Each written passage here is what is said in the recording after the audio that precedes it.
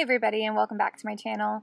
Today I'm going to be sharing with you guys how I made this affirming body moisturizer.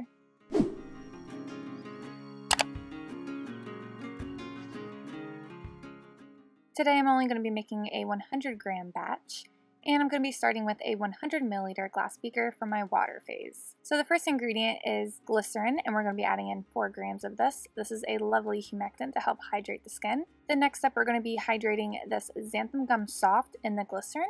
I added in 0.2 grams of it, and you just want to mix it in until it's completely hydrated in the glycerin. Alright, so hold up. You may remember me in my last video mentioning how I hate xanthan gum in leave-on products, which my opinion still stays the same on that.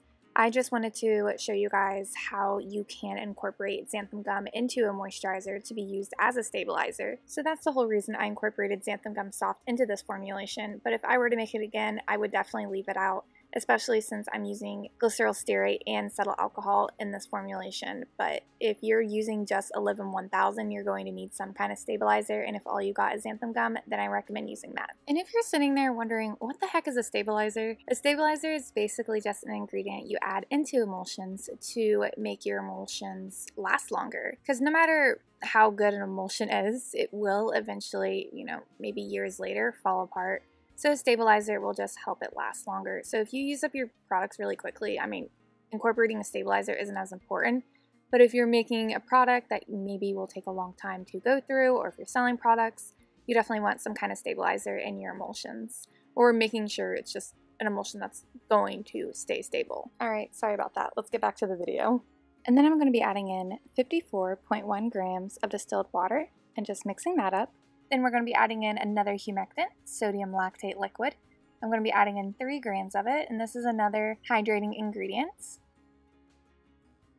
Then lastly, for the water phase, I'm going to be adding in some allantoin. This is a lovely soothing ingredient that I'm obsessed with, and I'm adding in 0.5 grams of it. Then just giving everything one last good mix and setting that to the side, and now we're using a 250 milliliter glass beaker for the oil phase. So I'm starting with Olivem 1000, which is our main emulsifier. This is EcoCert, and I'm adding in 7 grams of it. Next up is glyceryl stearate. This is also another EcoCert emulsifier. I'm using this as a stabilizer and as an emollient for this formulation, and I'm adding in 2 grams of it. Then next up is 2 grams of cetyl alcohol. This will help thicken the moisturizer and also add some emollient properties. Then we're going to be adding in some pumpkin seed oil. 15 grams of it. And then we have some Lux Glide N350. This is a natural alternative to dimethicone, which I am using to help eliminate any soapy effect that the Olivem 1000 may cause. And I'm only going to be adding in 2 grams of it. So that is it for our oil phase. Now you want to take both of your beakers and put them in a water bath just by filling up a pan with like an inch or so of water and then putting it over heat and heating up both of your phases to 158 degrees Fahrenheit or 70 degrees Celsius and holding it there for 20 minutes. So now that both of our phases have been heated and held, pour the water phase into the oil phase and then mix with a high shear mixer. You can use this overhead mixer I'm using or just go ahead and just use an immersion blender, that works just as good as well. So now that our formulation has cooled, let's go ahead and add the cool down ingredients. First up is the very main ingredient, and it is called Actigym.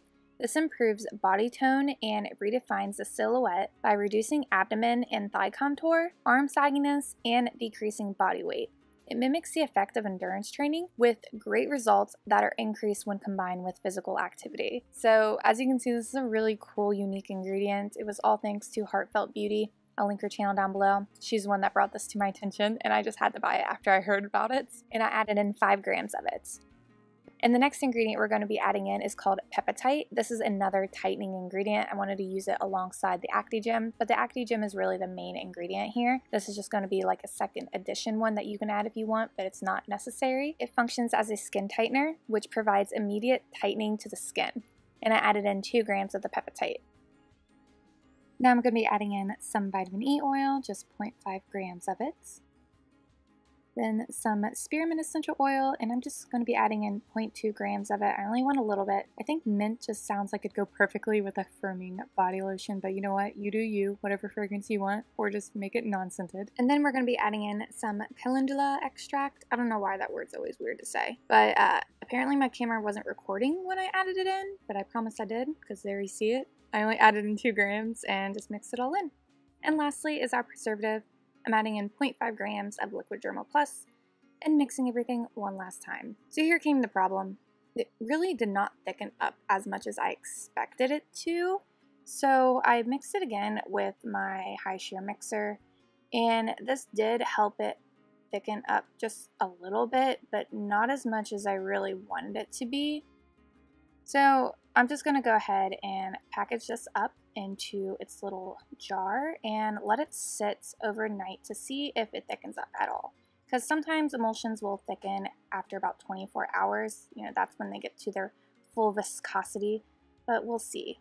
And then here I am just showing you guys me massaging it in.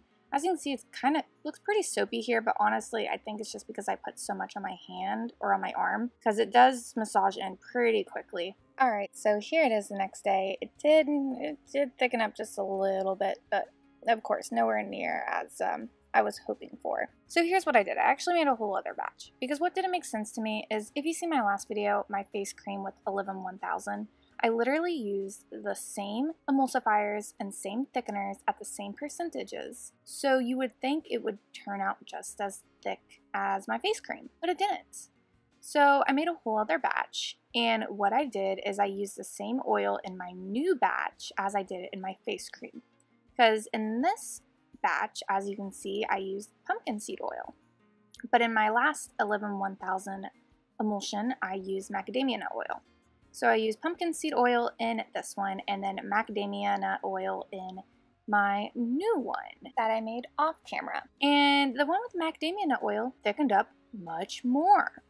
So apparently if you change out the oils, it can change the end viscosity. I've never experienced this before, but apparently I am for the first time. Let me know if you guys have any um, experiences with this. It could honestly be maybe I just my scale was off and I accidentally added in too much water. I don't know. Just let me know if you've ever experienced this before because this came out a lot thinner than I expected even though I used the same percentage of emulsifiers and thickeners as I did in my last one. The only thing I changed was the oil. So let me know your thoughts on this. Either way, this, the lotion's still great, you know, still works, just not as thick as I expected. And I do want to mention that I am aware that different oils have different HLB values. So I'm not sure if maybe that is what's affecting the viscosity. I just didn't think HLB affected viscosity so much, but maybe it does. I don't know. Yeah, like I said, just let me know your thoughts down below. But anyways, this is me massaging the moisturizer into my arm. As you can see, I used a proper amount on my arm this time and massaged in very nicely, no soapy effect. So if you are wanting to formulate with Olivem 1000, but you're dealing with a soapy effect from it, I definitely recommend adding in cetyl alcohol to help reduce that. I've been having good luck with incorporating glyceryl stearate as well, but that's not necessary.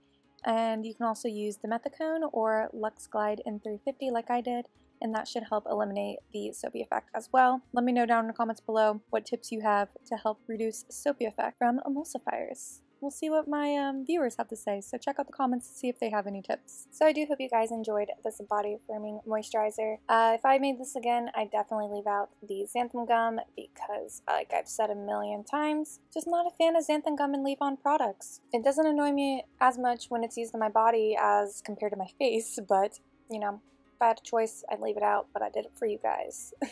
so here's the formulation all written out in 2%, so you guys can just easily scale this to however much you want to make. If you don't know how to transfer percents to a weighed out recipe, I'll link down below to a video that explains to you how to do that. I'll also link down below to my beginner series, so you guys, just in case you're a beginner, you can go back and watch my beginner series that is still in the works. So yeah, I'll link that down below. Also, I do have a Patreon where I write blogs that go right along with the recipes I make here on my channel. So if you would like a written out format of these recipes along with written out directions, that way you can print them out and then just, you know, have them at your disposal anytime. Go check out my Patreon. I also post two exclusive videos over there and all kinds of little extra things, so check that out if you're interested. And now let's move on to the Patreon shoutouts.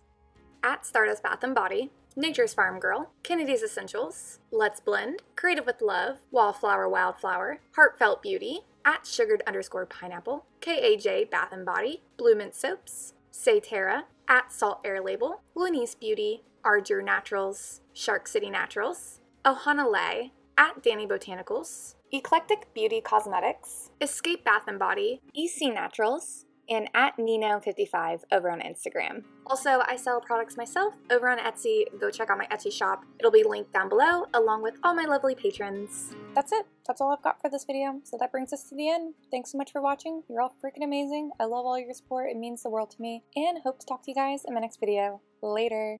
I'm stuck in the motions. I've been consumed by the wrath of time like I'm. I'm shattered in this life. It's still the path that I've chosen.